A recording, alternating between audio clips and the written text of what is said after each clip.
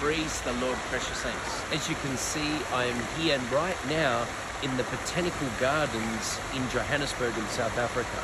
And recently, a sister in Christ sent me a dream. And at this particular location in these Botanic Gardens, there was such a heavy revival over 2 million people.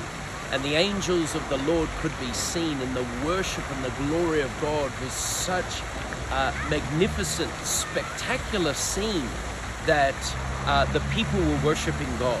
I'm here to declare to you today that according to John 7, it says, Whoever believes in Christ Jesus, it says that rivers of living water shall flow from you for those who believe. It is time for revival in South Africa.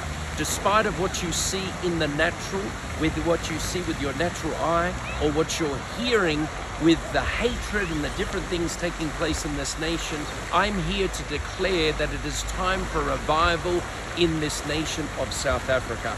Revival is coming. It is going to come in a way that we have not seen before.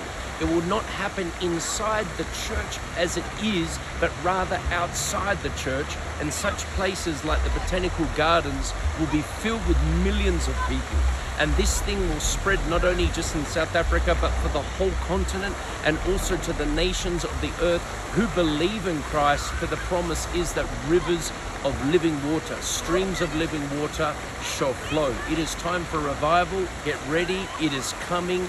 It is coming. It is coming.